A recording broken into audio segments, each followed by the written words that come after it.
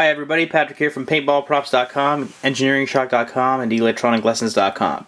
This is the Mine Cutter version 2. Um, the Mine Cutter is a paintball prop. It can be used in airsoft, milsim, uh, and laser tag games as well. Now, it might look from this angle like it's just a bunch of wires, but what this is, is it's a, a wire cut prop uh, with a loud siren and a uh, countdown timer, programmable down countdown timer with a blue display, and I'll light it up and give you a demonstration in just a second. Uh, this this video is going to serve uh, as a demonstration video and as uh, a video manual. Its functionality is very, its functions are very simple. You'll notice that there are six wires, one, two, like a flower almost, three, four, five, six, and they plug directly into the uh, board headers. There's uh, They're labeled 1 through 6. There are also terminal blocks that match each of those outputs so that you can use your own wires if you don't want to use these plug-in wires. Now, uh, what we do is we program in our timer the duration of the game. If the timer runs out before someone plucks the right wire, the alarm goes off. If uh, you shake the timer, or you shake the prop, um, the countdown timer starts going down 10 times as fast. You can disable that by removing this jumper.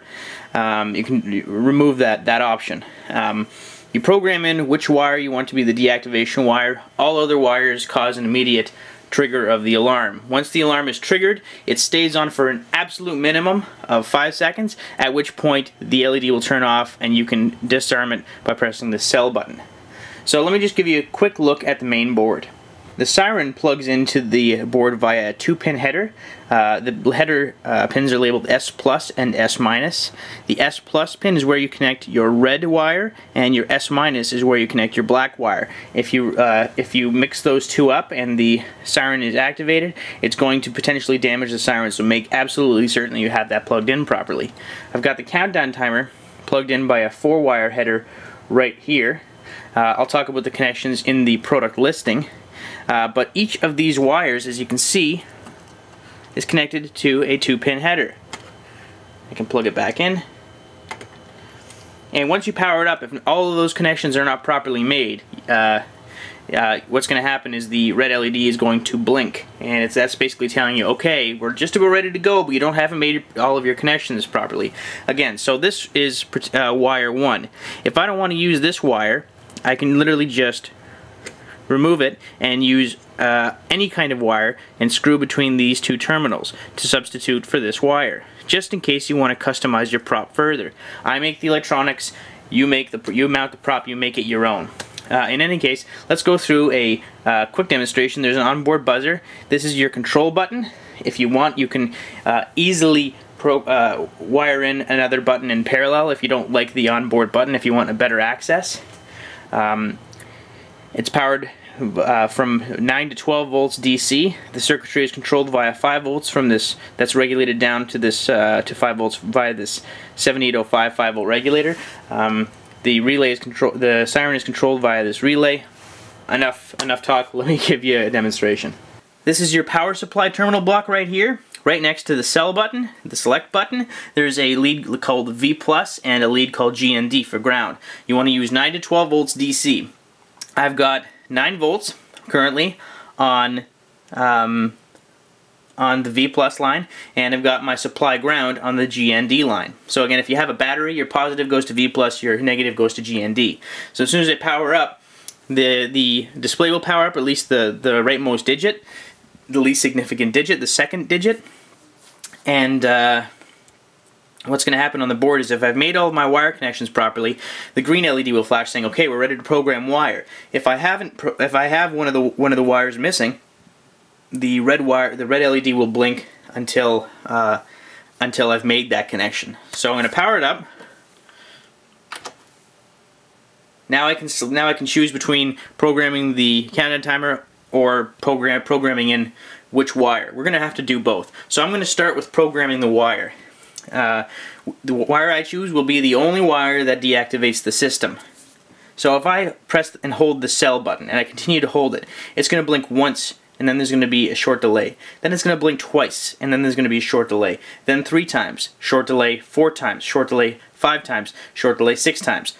And then it'll reset back to one time. Now at, at any point if I let go, during that blink sequence, it chooses the wire. So if I let go during the first blink, I've chosen wire 1. If I've let go during the, the sequence where it blinks twice, I've chosen wire 2. And I'm just going to show you now. So, 1, 2, 3, 4,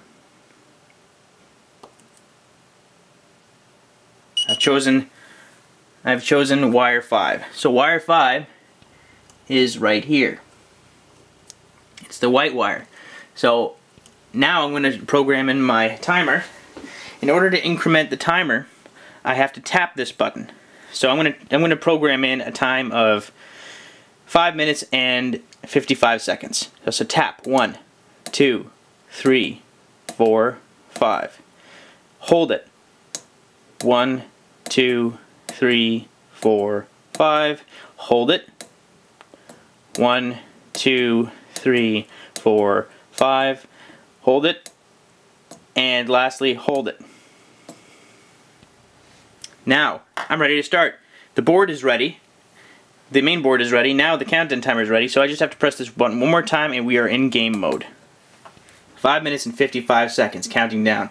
Now, I'm not sure how well you can see the countdown timer in this light. Pardon me, it, it, actually, the human eye picks it up really well, but the camera sometimes makes it look a little bit fuzzy. In any case, it does look great. So if I shake the prop, this little vibration sensor will will tell the, the, the chip, okay, someone's tampering with the system, and the countdown timer will start counting down 10 times as fast. If you, if you find that to be irritating, just remove this jumper, and that function will no longer exist. So, I programmed in wire 5 just for a sing just for our first demonstration I'm going to show you that this is the wire that deactivates it. I'm going to pull wire 5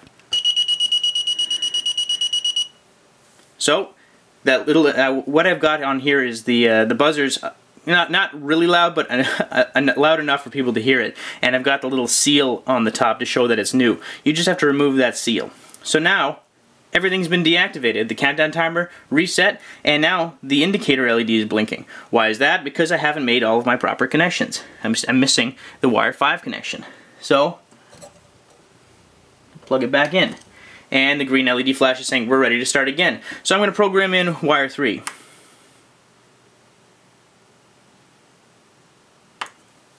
I programmed in wire 3.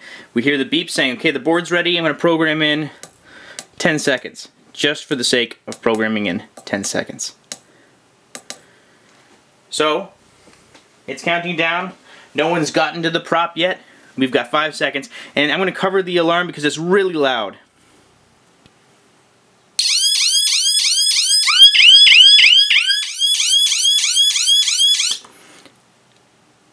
Now, if you were watching the board, what you might have noticed is that the as soon as the siren goes on, the indicator LED turns on for one second, or five seconds, sorry, then turns off. During that five seconds, you can't deactivate the alarm.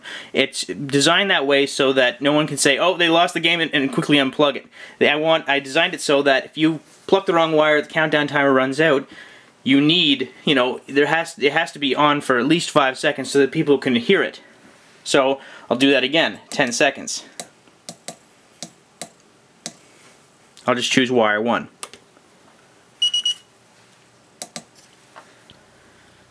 So watch the red LED. During that time, if I press the sell button, nothing will happen. Until that LED turns off, I can't turn the siren off.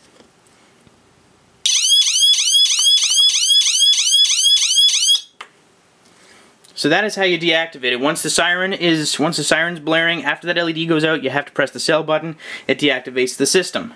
So I'll pull the wrong wire this time program in one minute. I'll program in wire 2.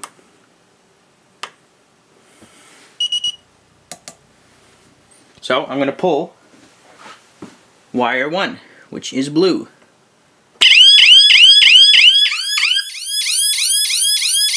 And I'm going to press the sell button to deactivate it. So that's pretty much it. It is a and again, the red LED is flashing because I haven't made all of my connections. And there we go, ready to start again. It's really, really easy to use. You customize it. Uh, the, the mine cutter itself has several mounting holes, that uh, wide mounting holes for easy mounting to your prop. The uh, siren has a double-sided tape layer and it literally sticks quite well to almost anything. And it also has two um, two mounting holes, and the timer board has four mounting holes, one on each corner. Fits well with an M3 screw. So that's that. I hope if, if you if you have any questions, you can refer to the listing when I have it up for sale at uh, paintballprops.com and engineeringshock.com. I'll place the links down below.